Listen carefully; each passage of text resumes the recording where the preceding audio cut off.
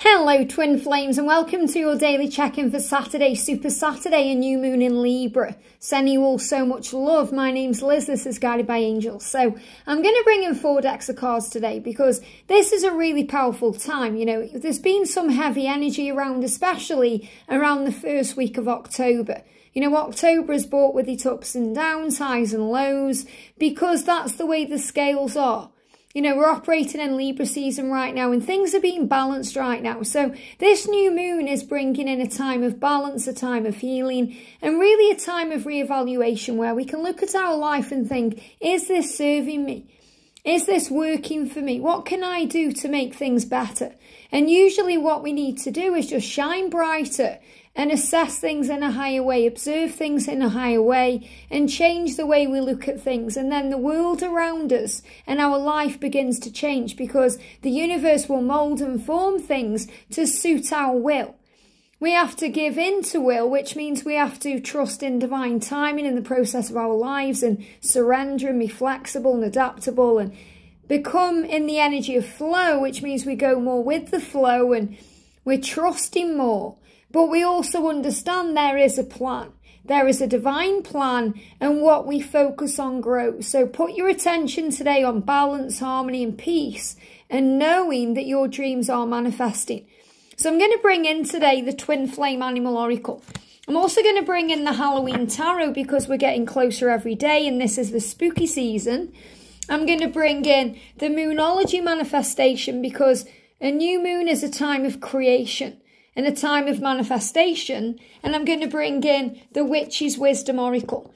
So let's see what we need to know. And if you would like a personal reading with me, you can reach out to me at guidedbyangelsxo at gmail.com. So thank you, angels. What's the energy, please, today around the Divine Feminines? Wow, look at that one card. And I've got one card sticking out. Amazing. What's the energy around the Divine Masculines today? One card and one card sticking out. And the energy around the journey well these cards are on fire today. Got one card sticking out and a card that fell on the floor. Look at this for the journey. We've got freedom. Become the master of your mind to become master of your life. True freedom comes from a calm mind and that's so true. You know that's what we've been talking about. And the seagull is a master because the seagull can live pretty much anywhere it can survive on the ocean, on the water. It can thrive in the air because it flies high. It can walk on the land and it can certainly overcome fire because it can fly above it. So the seagull is a real master and a powerful guide. So what's the energy that we are manifesting for the divine feminines? What's this new moon bringing forth for the feminine today? Got three cards coming out. So you four cards trying to make themselves known. Okay, five cards. So I'm taking them. So I'm just going to pop these here. These are for the feminines. The energy around the divine masculines, what's being created for the masculine with this powerful new moon jumping out the deck there. We've got one card jumping and one card sticking out here. And the energy around the journey itself, what's the energy around the journey? I love that that seagull cards come out, you know, so powerful. Really does show you what's being created. You know, the freedom of the mind creates freedom in the life. So the energy with the witches, this, this is the witches' wisdom cards. And this is about, you know, things you're learning, creating, doing, things you manifest to make things happen. And, you know, that's also what this new moon is doing. It's bringing in manifestation power. So the energy around the journey itself, what do we need to be aware of? There's the card there. Wow. And then some tarot to finish it off. An energy around the divine feminines. An energy around the divine masculines, please, angels an energy around the masculines, and the energy around the connection. Wow, these cards are just really making themselves known today.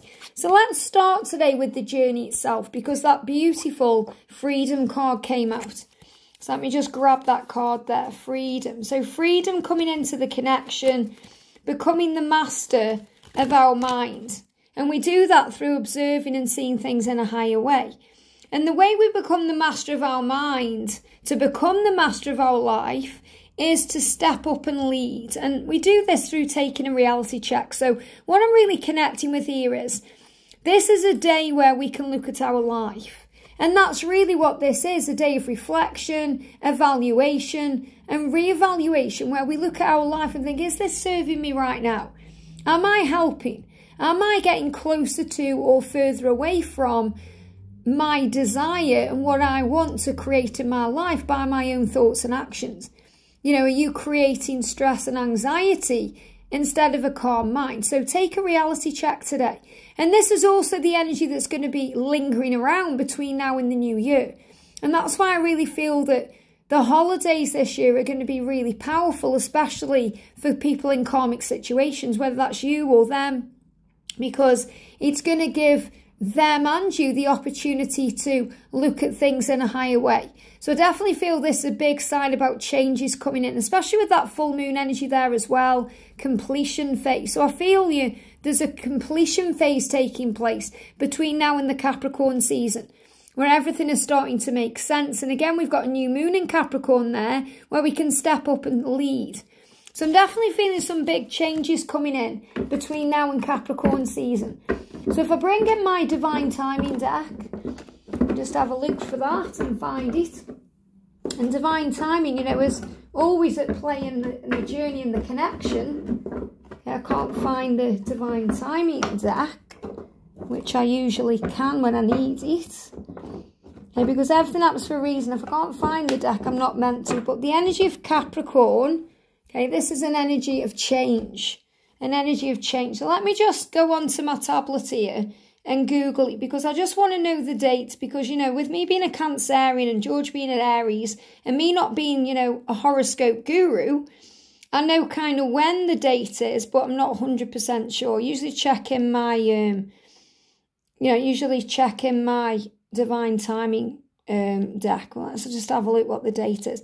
Yeah, 22nd of December to the January the 19th. So what I'm really connecting with is between December, the, the winter solstice, the 21st, and the time when the dragon comes in in January, you know, we're experiencing changes. So in the new year, the water rabbit that's lingered around and been around us all, bringing in opportunities during 2023, is going to move out of the way for the dragon to enter.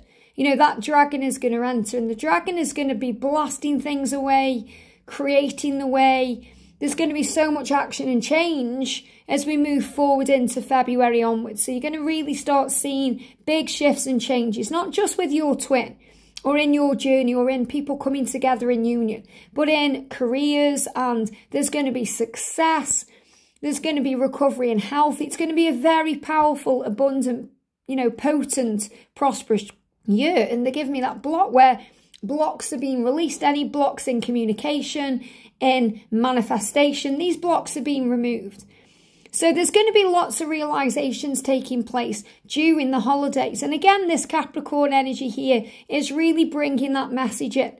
You know, the kind of energy over December and January. So breathe through what you're going through because the masculines certainly are going to be looking at their lives. And this is already happening now. You know, this is happening today because the energy has come in today. But they are going to be looking at their lives and really taking a reality check because they're being guided to step up and lead. And they're being guided to step up and lead to become free, to become the master of their mind, which allows them to become the master of their life and take control back, to come to you and to be with you and share that time with you and start a life with you and be with you in a permanent union. And that all begins from a calm mind because when our mind is crazy, you know, when it's it's just overwhelmed with things and it feels crazy, we can't focus. We certainly can't relax and we feel like everything's on top of us. So the first step to bringing in a calm mind is through breath work. By bringing yourself back into the moment, out of the past and out of the future and into the now, where you were free. And I'm definitely feeling this energy as well of, you know, the full moon and the new moon that's coming in in Capricorn. So it feels like the full moon that's coming in around December and January. And the energy around the new moons in December and January are going to bring in changes. So you're going to start seeing masculines taking the lead in the connection. And this is because we've got the echoes. And they give me the word echo. So this is ethos, but they give me the word echoes because the echo is about how things linger around. You know, we can never forget our twin because they echo in our mind, you know, their thoughts, their words, their actions, it's all there. So this is really a message about the law of attraction and manifestation and creation. And it says, live the Wiccan law, we must. And this is really about understanding that what we give out, we get back. It says, in perfect love, in perfect trust. And that's so true. You know, in love, we have to trust. We have to have faith to follow our heart and do things with, with glee, you know, to feel excited about life, to be entrusting of the universe, because that's going to bring in the helpful plan and to not judge our twin or judge the situation or judge the universe. Instead, shine your light bright. So I'm really connecting with this Wiccan rede here. You know, this ethos energy, which they're giving me as an echo, as a universal law, because what we do lingers around. So, you know, if you, if you speak an echo, he says echo, co, co, co, you know, it goes on and on and on. So what we give out, we get back at a later time. It's got an echo.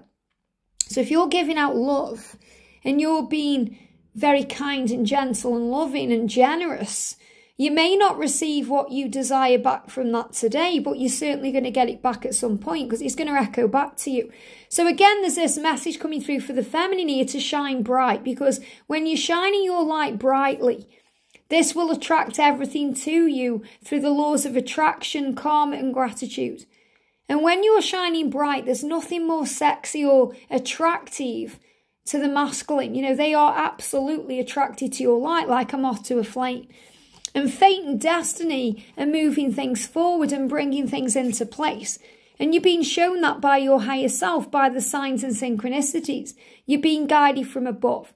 So this is such a huge message. And we've got the number 11 on that card as well. So if you've seen 1111, you're being reminded that you are gaining wisdom and insight and power and strength. And, you know, what we take in, we have to digest. So if you've been having any stomach issues or, you know, if you've been having any cramps in your stomach or any kind of vertigo feelings like wooziness, dizziness, it's all about how we process. And I feel the crown chakra and the solar plexus are aligning to understand things the same way.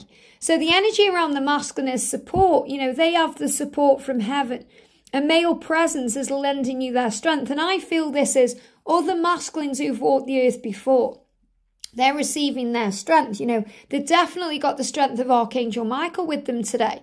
And they are being guided to not give up. Now, this is also them sending you that polar bear as a sign to keep going. You know, your masculine is saying to you today, please don't give up on me. Please don't you know, let me go.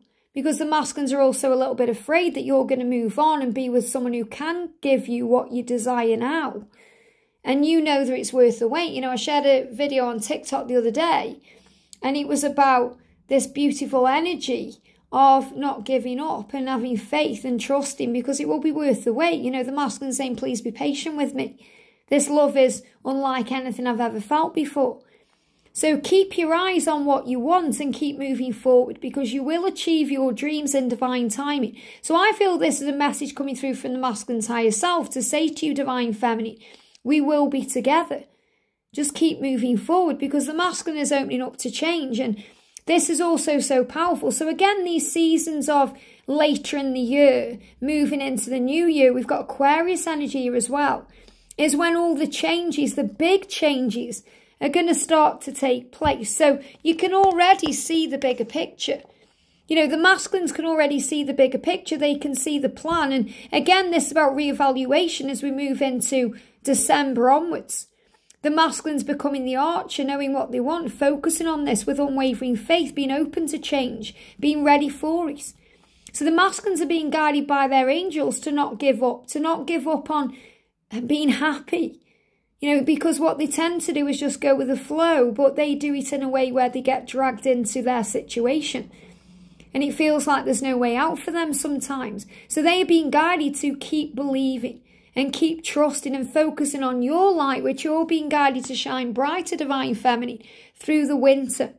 The watchtower of the north. So this is definitely about them keeping their eyes on their true north, on the North Star. And I'm really getting this energy coming through. And I spoke about this in the last few videos, you know, about shining bright and being that lighthouse because we've got the Four of Pumpkins energy coming through here. So this is the masculine showing you that they are manifesting things, that they are going to let go of things that aren't serving them. that they do have something to give to you. Now, I feel he's carrying a letter there. You know, he's carrying that kind of pumpkin there, but I feel he's carrying a letter. He wants to bring something to you. He wants to offer you something real. So Divine Feminines, we've got the Ten of Bats coming in for you. So this is about rebirth. It's about a completion phase, a new beginning not giving up on what you want. And, you know, you're gaining a higher understanding right now. So you're really learning how to go within for the answers through prayer and meditation. And you're learning how to do this in the silence in the quiet times. You're learning to appreciate that when they are in silence from you, you know, if they, if you're in separation or they are distant, it's an opportunity for you to replenish you, to go within for the answers, to find what you're seeking. And everything that you seek will find you in the stillness, including the connection with your twin, because you are one. You are one. And you're also receiving a higher understanding about service and what service does. You know, when we're giving, when we're operating in our higher self, when we're helping others, when we're operating from our higher self, we'll always be of service to, to ourselves and others. And that bears fruit. It brings in rewards. It brings in abundance. And look at this for powerful. I've got angel bumps. Assess the situation. And this is exactly what I've been connecting with even before I shuffle the deck to assess the situation. This is what this new moon is bringing in today. Look at things in a higher way and trust that all will be well. So again, since the Virgo energy here, you know, since Virgo energy, this is what we've been focusing on. Learning to trust that all will be well, affirming everything is already working out for me. Everything is working out for me. I am safe and protected. And then we're able to release any blocks or any fears or struggle through calming our minds. So you can see there she's doing that yoga pose and this is about calm and balance. So what I'm connecting within that card there is balance. Balance. And the new moon is bringing in an energy where you can relax about things relax, allow yourself to feel. You know, the Cancer energy is about emotion, the Scorpio energy is breathing through the tension. So I feel everything that you learned earlier in the year is allowing you to breathe through the tension, to be okay with things that may feel concealed or stuck or stagnant because you're realizing it's just a cloak, it's a mask. So you're taking away the burden. So what I'm really connecting it with is cloaking yourself, in other words, shielding yourself and releasing yourself from any stress, knowing that you're protected, but also seeing through the illusions of things that may feel concealed or things that may be hidden away. And also releasing burdens by taking that cloak off and feeling free. So the real energy coming through is freedom today. When we become the master of our mind, we become the master of our life. And we get that through calming our mind because that's where the true freedom is. We can't be stressed out in the power of the now because we are safe there. We are calm there. We are at peace there. It's only when we are going over things in our mind that we start worrying about the future or stressing over the past. And we can't thrive in those types of energies because it creates illusion. And illusion creates fear, and fear creates panic and dread. So rise above that today like the seagull. And if you see a seagull today, whether you see one in your real world or you see one in a film or you hear their, you know, their kind of call, this is a big message about becoming free because seagulls are powerful. You know, you might think that, you know, they don't have purpose or you may think other things about them. Or I know certainly people don't really like seagulls, especially, you know, tourists when they're on holiday because they may try and, you know, get the food or, but they are survivors. I love seagulls because they are survivors and they're so pretty. And some of them are so beautiful, you know, they're so unique as well. So this is about your power. So the seagull is a master. So the next time you see one, give it a little bit of respect because not only can it, you know, fly high and walk the earth and go in the sea, but it can overcome fire because it can fly above it. And that's what we're being reminded today, to assess things in a new way to become the master of your life by taking control and realizing you have everything you need in this moment, that you are safe and protected, that you don't need anyone to save you or rescue you or even love you, because when you give all that to yourself, you are the master of your mind. I hope this helps. Have a great day and I'll see you soon.